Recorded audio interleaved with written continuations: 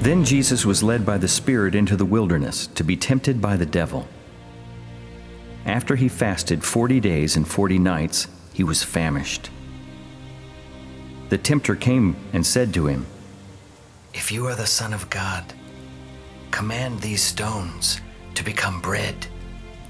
But he answered, It is written, Man does not live by bread alone, but by every word that comes from the mouth of God.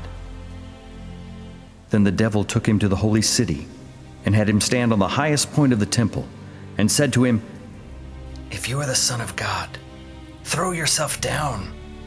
For it is written, He will command His angels concerning you, and with their hands they will lift you up, so that you will not strike your foot against a stone.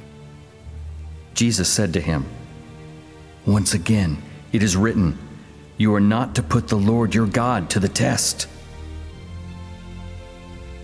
Again, the devil took him to a very high mountain and showed him all the kingdoms of the world and their grandeur.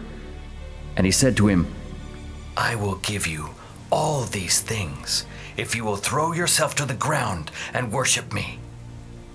Then Jesus said to him, Go away, Satan, for it is written, You are to worship the Lord your God and serve only him.